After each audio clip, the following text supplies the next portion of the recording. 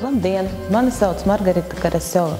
Esmu darba tirgus daļas vadītāja pienākumu izpildītāja. Strādājot Nodarbinātības valsts aģentūrā, jūs saņemsiet sociālās garantijas un bonusus, kā arī lielisku darba pieredzi valsts pārvaldē. Laipni lūgti mūsu kolektīvā!